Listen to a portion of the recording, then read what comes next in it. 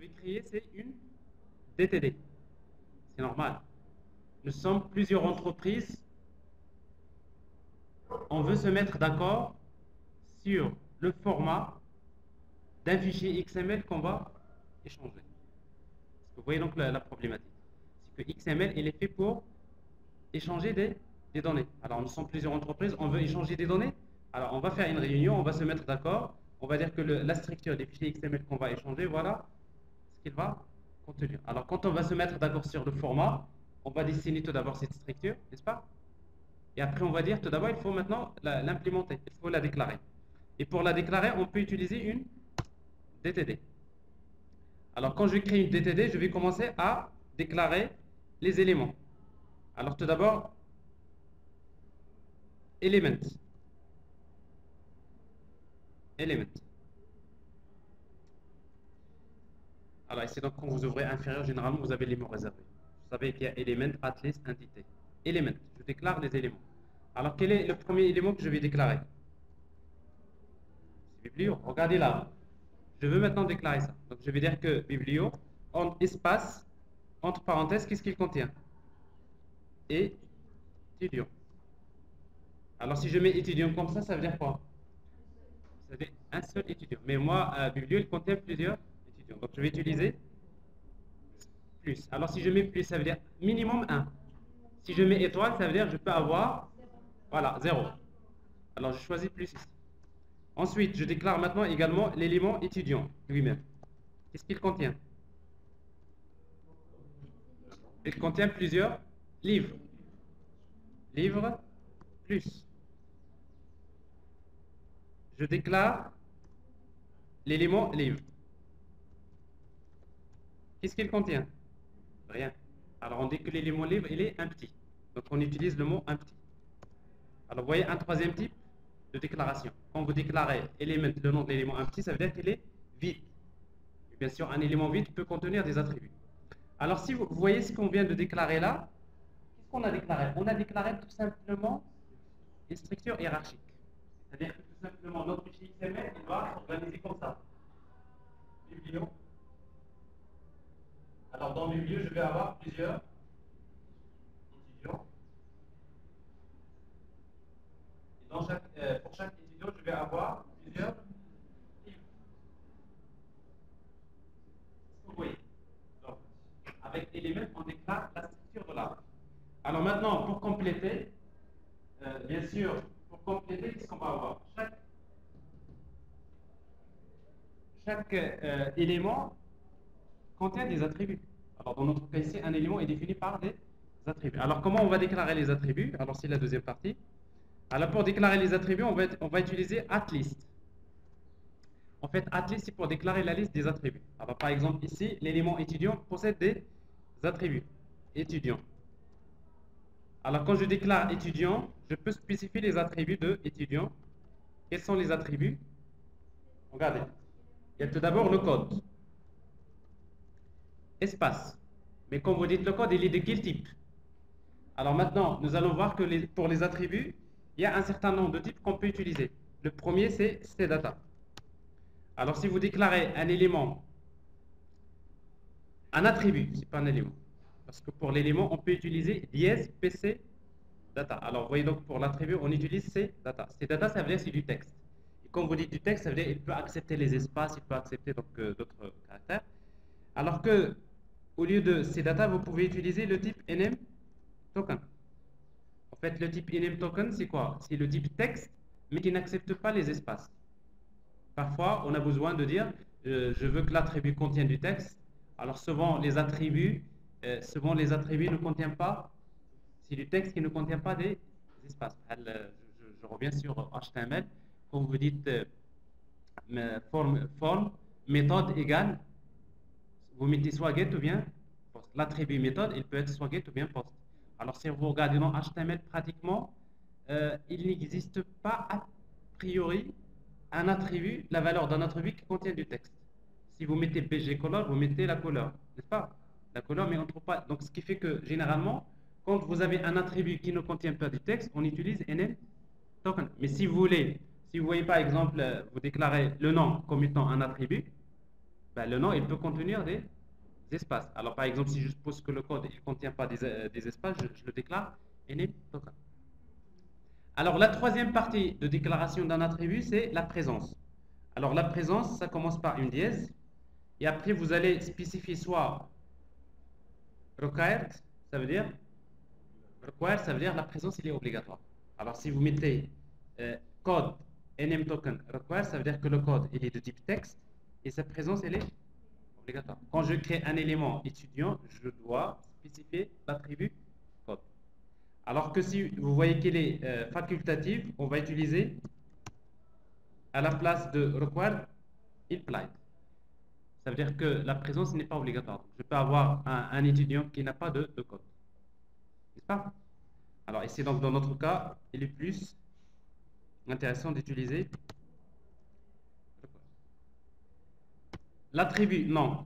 On peut le déclarer de type c'est data. Alors si vous voulez qu'il soit obligatoire, on va mettre alors ça c'est une déclaration qui indique tout simplement que l'élément étudiant est défini par deux attributs. Alors pour chaque attribut, il faut spécifier le nom de l'attribut, le type de l'attribut et la présence. Alors la même chose maintenant, on va déclarer les attributs de quel élément? Livre. Alors le livre, il est défini par les attributs suivants. Il y a ID. Alors tout à l'heure, j'avais parlé de ces data name token, mais on peut déclarer un autre élément de type ID. Alors si vous, vous utilisez, euh, euh, si vous déclarez un attribut de type ID, ça veut dire quoi? Bah, sa, sa valeur, elle est unique. C'est à peu près l'équivalent de clé primaire pour une table. Quand vous dites clé primaire, ça veut dire que je ne peux pas avoir, hein, je ne peux pas avoir plusieurs euh, livres qui ont le même ID. N'est-ce pas? Alors, sauf que ici, c'est dans, le fichier XML, hein, attention. Mais ce n'est pas le cas ici, pourquoi? Parce que je peux avoir plusieurs étudiants qui vont prêter le même qui vont euh, prêter le même livre. Donc, c'est-à-dire ici, je ne vais pas utiliser ID, je vais utiliser euh, C ou bien name token.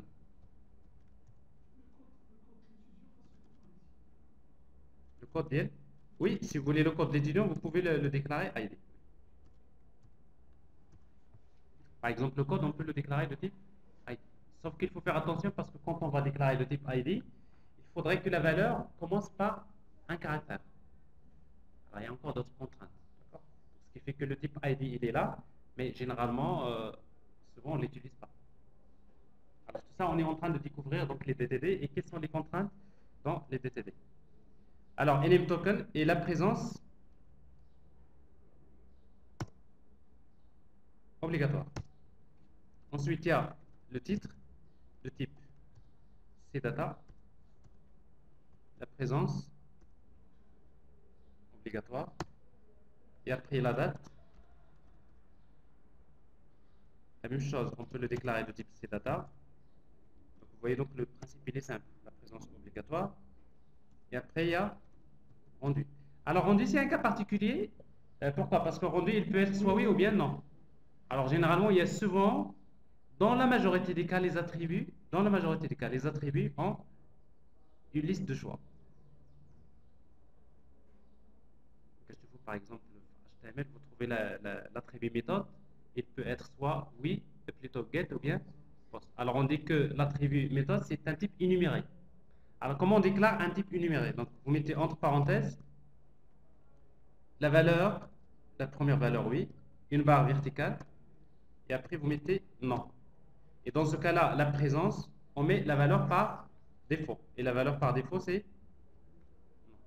Alors, c'est quoi ça? Je déclare un attribut rendu, dont la valeur peut être soit oui ou bien non. Alors, s'il y a d'autres valeurs, vous mettez d'autres barres verticales. Donc, c'est-à-dire on spécifie les différentes valeurs possibles. Alors, généralement, quand vous avez un attribut énuméré, vous avez une valeur énumérée, ça doit être un attribut. Parce qu'un élément ne peut pas être énuméré. Quand on déclare un élément, je ne peux pas énumérer le contenu. Alors qu'un attribut peut être énuméré. Donc ça veut dire que dans votre structure, supposons que vous êtes en train de créer une structure dans laquelle vous avez un attribut type. Alors type, généralement, quand vous dites type, ça peut être soit ça, soit ça, soit ça. Hein, n'est-ce pas?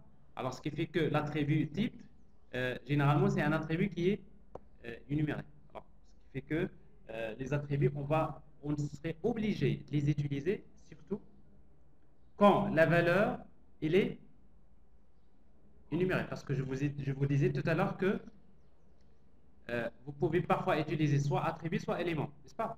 Rappelez-vous tout à l'heure le nom. Je disais, on peut, non, on peut l'utiliser comme étant élément, comme on peut, l'utiliser comme étant un, un attribut. Mais si la valeur, elle est énumérée, on ne peut pas utiliser non. Il faut utiliser l'attribut. Pourquoi? Parce que dans l'attribut, on peut euh, exiger euh, le type énuméré, mais pas dans les éléments.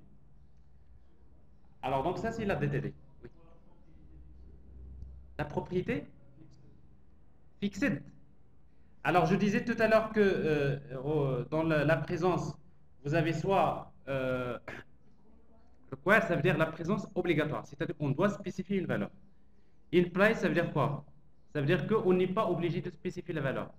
Et dans ce cas-là, euh, dans ce cas-là, c'est-à-dire que oh, je peux avoir un élément qui n'a pas de qui n'a pas d'attribut. Et après fixed, on peut l'utiliser quand on veut fixer la valeur de l'attribut. Ça veut dire quoi? La valeur elle est fixe et du coup donc on peut plus euh, on peut plus la changer. Donc ça c'est les, trois possibilités. Alors maintenant je crée une DTD, je vais l'enregistrer, enregistrer.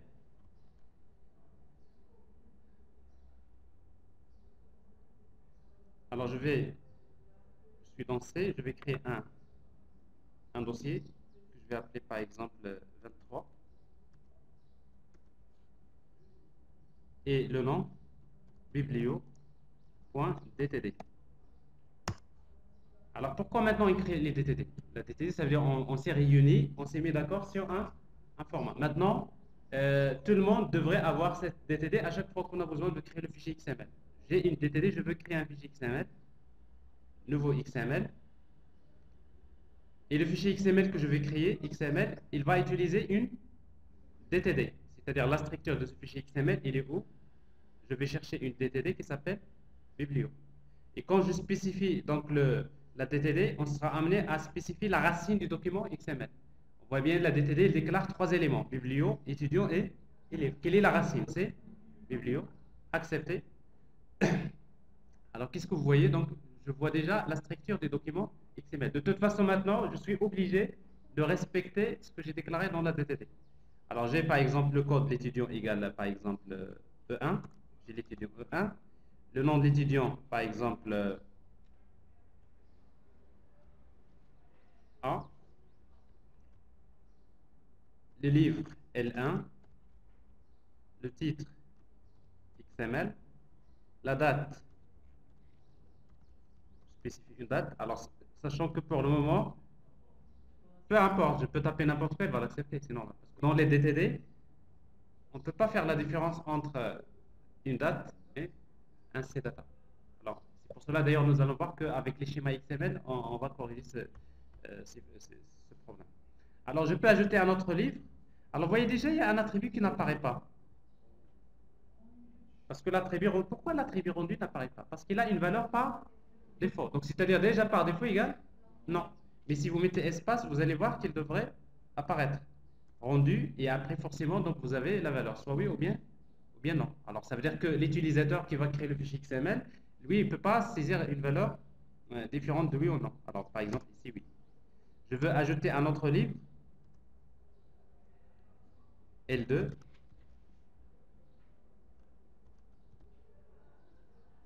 ainsi de suite. Alors ici, donc, je suis en train de créer un fichier XML manuellement. C'est un document XML qui est statique. Mais après, vous allez voir que ce fichier XML, c'est pas, pas le créer manuellement, mais il va être généré peut-être avec une, à partir d'une base de données qui existe déjà. Alors rendu égale non. Et après, donc ça c'est un, étudiant, je peux...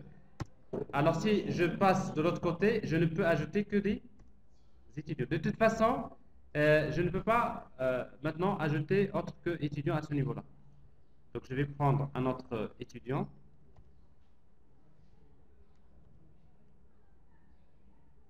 E2. B. Alors par exemple, toujours le même livre euh, dans une autre date.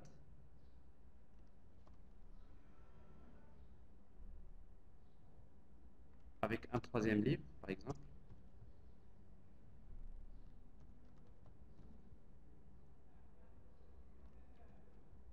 Il a été rendu, oui.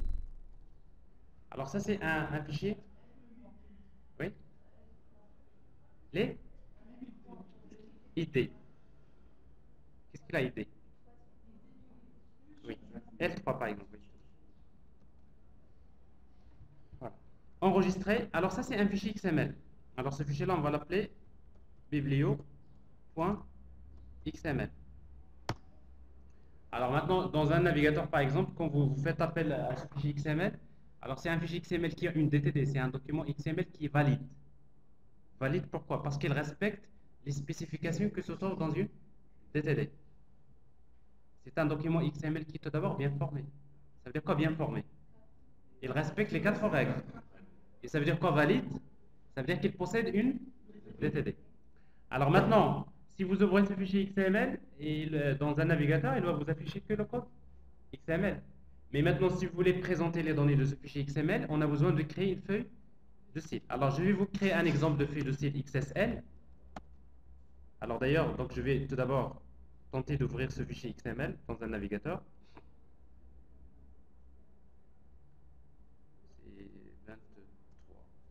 alors le fichier XML. On va l'ouvrir avec un navigateur quelconque. Alors en fait, il y a des navigateurs parfois qui vont vous afficher le code source directement euh, sur, le, sur le navigateur, mais parfois il vous affiche une page blanche. Une page blanche, mais si vous regardez le code source, le code source de la page, donc je vois bien, c'est pour le moment c'est euh, du XML. Mais c'est du XML qui est chargé en mémoire. Alors je viens de...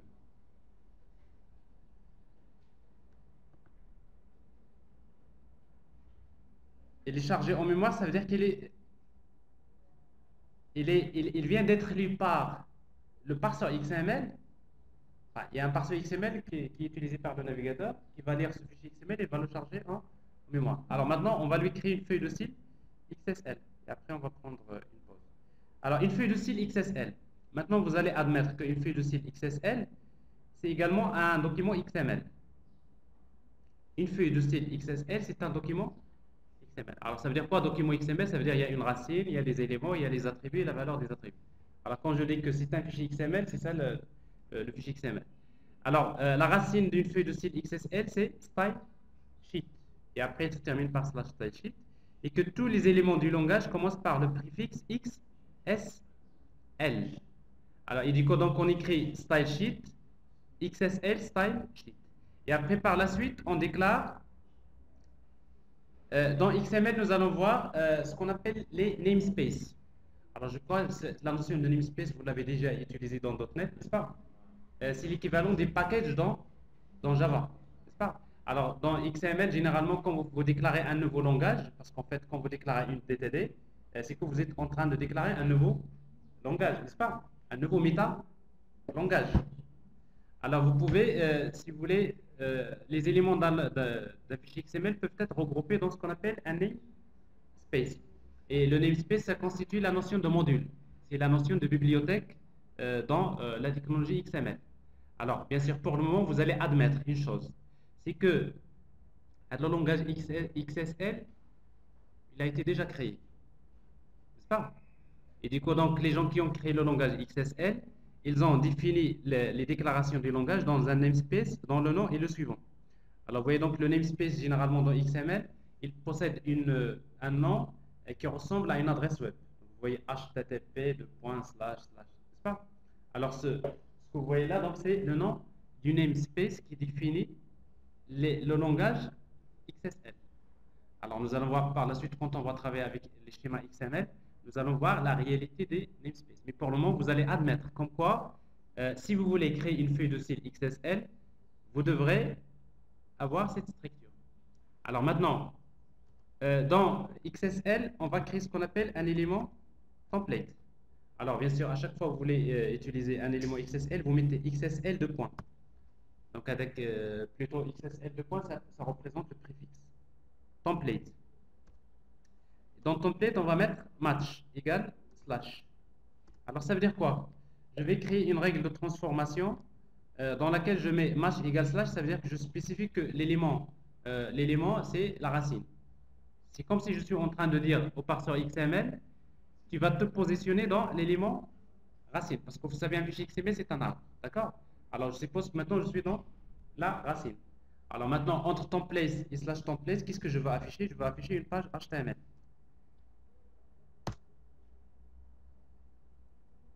C'est-à-dire, pour le moment, cette feuille de style, qu'est-ce qu'il affiche? Une page HTML. Mais maintenant, dans cette page HTML, supposons que je veux afficher tous les étudiants. Alors, pour afficher tous les étudiants, j'ai besoin de faire une boucle, n'est-ce pas?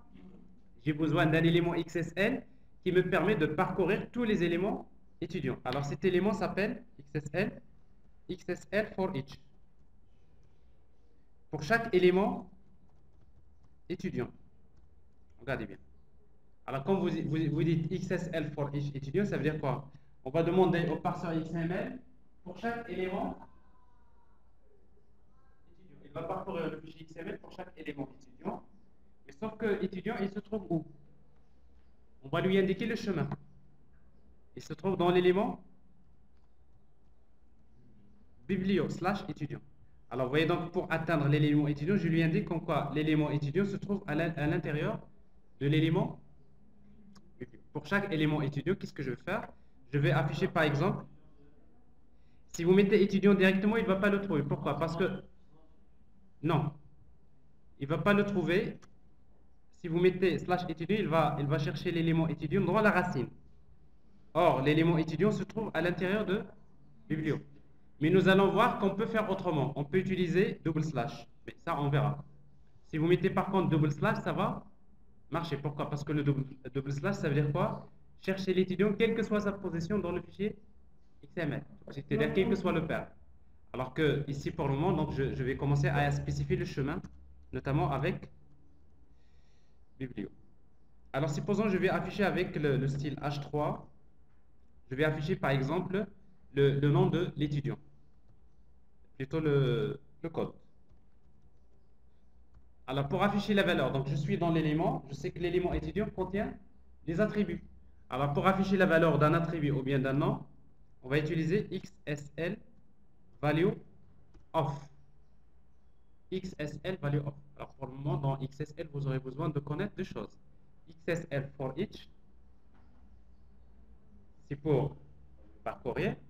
Et après, pour afficher la valeur, on va utiliser XSL value of. Quoi? L'attribut. Comment il s'appelle l'attribut Code. Mais comme c'est un attribut, on va utiliser at. Alors, quand euh, la valeur commence par at, ça veut dire qu'il sait qu'il s'agit d'un attribut. Alors, si vous ne mettez pas at, ça veut dire qu'il il s'agit d'un élément. Pour faire la différence entre élément et attribut. Alors, la même chose, donc je vais afficher le, le nom.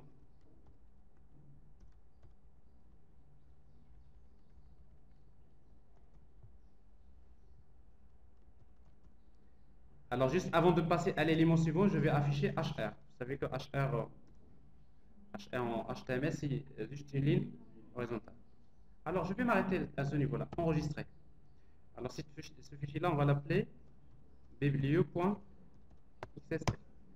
Alors, maintenant, si je veux que mon fichier XML utilise euh, cette feuille de style, j'ai besoin de déclarer la feuille de style dans le fichier XML. Alors, en utilisant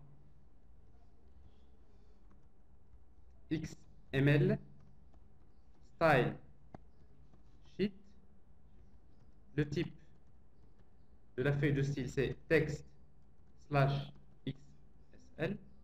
Et après href égale, c'est biblio.xsl. Enregistré. Alors, je reviens sur le navigateur tout à l'heure. C'était ça le fichier XML, donc euh, il ne possédait pas une feuille de style. Maintenant, on va actualiser.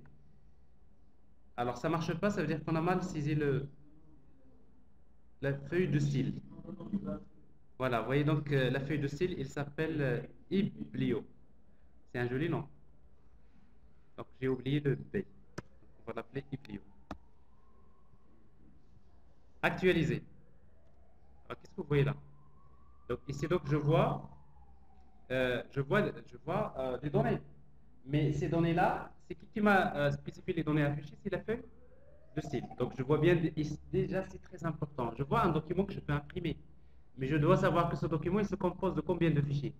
Trois. Il y a tout d'abord la structure, il y a les données tout d'abord, c'est le fichier XML. Il y a la structure des données, c'est dans une DTD. Il y a la mise en forme, c'est dans la feuille de style. Alors maintenant, je vais ajouter quand même afficher les livres, les livres de chaque étudiant. Alors une fois que j'ai affiché le code et le nom, je veux afficher les livres. Et pour afficher les livres, je vais créer un, tableau. Alors la bordure égale à 1 et la largeur égale par exemple 80%. Et après dans, je vais mettre TR et après les TH. Ici y a, pour chaque livre, je vais afficher ID du livre. J'affiche également le titre. Aussi j'affiche la date de prêt et j'affiche par exemple l'attribut rendu. Alors, qu'est-ce que vous allez me proposer à ce niveau-là? Une boucle. Très bien. Alors, je vois déjà que chaque élément étudiant contient plusieurs. Il y, a, un autre. Donc, ça veut dire je reprends XSL for XSL for Alors, pour chaque livre, alors cette fois-ci, je, vais uniquement livre. Pourquoi? Parce que c'est quoi l'élément courant C'est biblio slash étudiant. C'est-à-dire c'est livre par rapport à étudiant. Donc si vous mettez biblio slash étudiant slash livre, ça ne va pas marcher. N'est-ce pas? Pourquoi? Parce qu'il va chercher euh, dans biblio slash étudiant slash biblio slash. Donc c'est-à-dire ce élément. L'élément, c'est toujours par rapport à l'élément courant. Alors ici, donc, je vais créer une ligne TR dans laquelle j'ai des TD. Et entre TD slash TD, qu'est-ce que vous proposez? XSL value of. Les attributs. ID.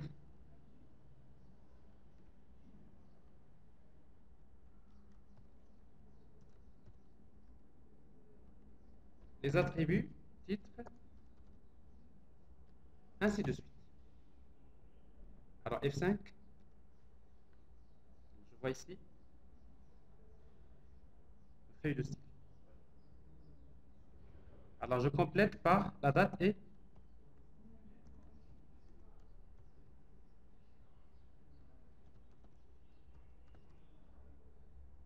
et l'attribut rendu.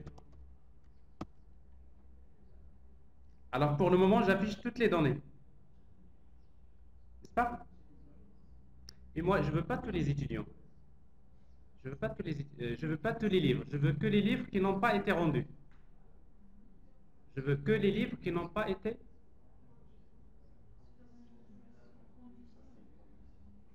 Alors, forcément, vous, vous allez passer une condition parce que vous êtes dans la logique de programmation. Vous savez que dans... vous savez, dans le langage SQL, dans le langage SQL, pour euh, utiliser une, condition, vous utilisez where, n'est-ce pas? Select étoile from where. Alors maintenant, ce que vous devrez savoir, c'est que quand vous mettez euh, l'attribut select égal, alors ce que vous mettez à l'intérieur de l'attribut select, c'est ce que nous appelons une expression expat. En fait, expat, expat, c'est l'équivalent de SQL dans euh, les bases de données. Alors maintenant, si vous mettez livre, c'est comme si vous mettez select étoile from livre. Plutôt, vous sélectionnez tous les. Alors maintenant, on ne veut pas tous les livres. On veut euh, les livres, mais à une condition. Alors, c'est quoi la condition? On met entre crochets. Voilà. Alors, généralement, quand vous mettez le nom d'un élément entre crochets, ça veut dire c'est une condition. Ça veut dire je veux sélectionner tous les livres, mais à quelle condition? Si vous mettez livre de 0, il va vous sélectionner que le premier livre. Plutôt, ça commence à partir de 1. C'est un tableau. Quand vous sélectionnez livre, c'est un, ensemble de, livres. Si vous mettez par exemple livre de 1, il va vous sélectionner que le premier livre. Alors maintenant, c'est pas ce qui nous intéresse, c'est que le livre, la condition, c'est quoi? L'attribut rendu égale à quoi? Égal? Non. Alors voilà une expression expat qui indique tout simplement que je veux sélectionner, je, demande au parsoir XML, je veux tous les livres À quelles conditions L'attribut rendu égale également? Et bien, vous allez voir, ça va changer. Alors, je ne vois que les livres qui n'ont pas été rendus. Vous voyez, ce n'est pas une affaire de programmation, donc c'est une affaire de XPath. Mais XPath, je suis en train de dialoguer avec euh, le parseur XML qui me fait ce, travail. Et enfin, pour terminer, donc je veux afficher par exemple le nombre de livres.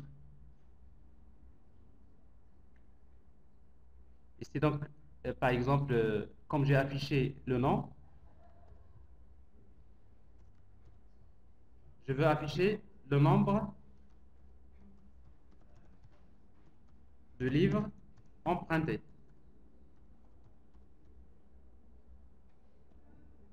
Alors, le nombre de livres empruntés. Alors, pour le nombre de livres empruntés, pour chaque étudiant, je veux le nombre de livres empruntés. Alors, la même chose, vous mettez select, ben, on va chercher, comme dans le cas de SQL, vous avez des fonctions, euh, vous utilisez les fonctions count, vous utilisez les fonctions sum, n'est-ce pas? Ben, La même chose, ici, donc on peut utiliser la fonction count et la fonction sum. Alors ici, donc je veux le nombre, c'est-à-dire je vais utiliser count de quoi? Il y un T.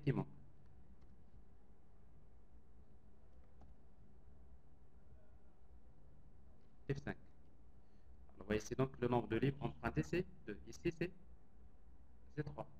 Alors, je veux veux pas le nombre de livres empruntés, je veux en même temps le nombre de livres qui n'ont pas été rendus. Alors, je fais un copier-coller.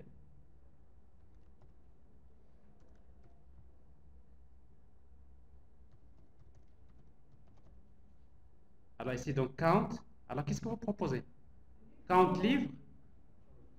Il y a une condition. Entre crochets. Voilà. On comprend déjà le principe. Entre crochets, l'attribut rendu égale égal Non. Si, vous allez avoir, il y a la fonction and et tout ça. Donc, xpath, il y a ça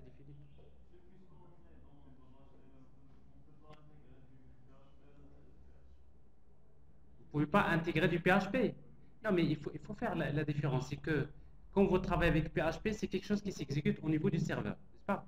Alors maintenant, je suis dans la logique, euh, ça, je suis en train d'exécuter ça côté client. Alors maintenant, quand est-ce que nous allons voir quand est-ce que vous aurez besoin de PHP. Euh, c'est quand vous voulez générer le fichier XML. Le fichier XML, pour le moment, c'est un fichier statique. Mais ça peut être un script PHP. C'est-à-dire ce fichier-là lui-même, que vous voyez là, XML, ça, peut être un fichier PHP qui va se connecter à la base de données et qui me donne le fichier XML. Nous allons voir ce cas-là.